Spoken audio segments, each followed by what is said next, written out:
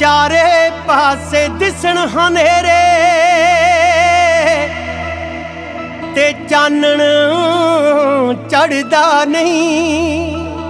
ਘਰ ਦਿਲ ਤੇ ਪਾਇਆ ਦੁੱਖਾਂ ਨੇ।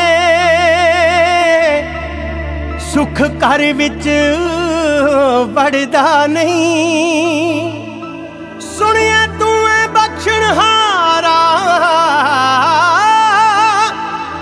ਸਾਨੂੰ ਬਖਸ਼ ਦਿਓ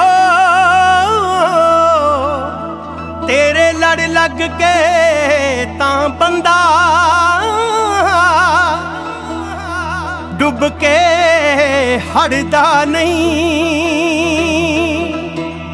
ਦੁੱਖ ਜ਼ਿੰਦਗੀ ਤੇ ਭਾਰੇ ਸਭ ਪਾਸਿਆਂ ਤੋਂ ਹਾਰੇ।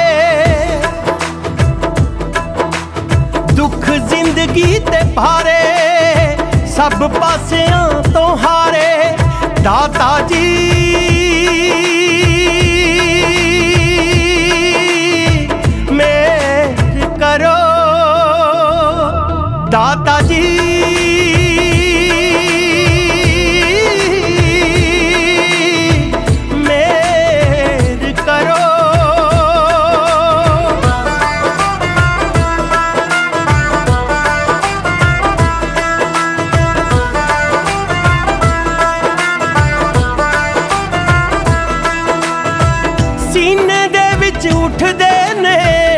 ਹੁਣ ਇਹ ਦਰਦ ਅਵੱਲੇ ਹਾਸੇ ਖੰਭ ਲਾ ਕੇ ਉੱਡ ਗਏ, ਰਹਿ ਗਏ ਗਮ ਪੱਲੇ।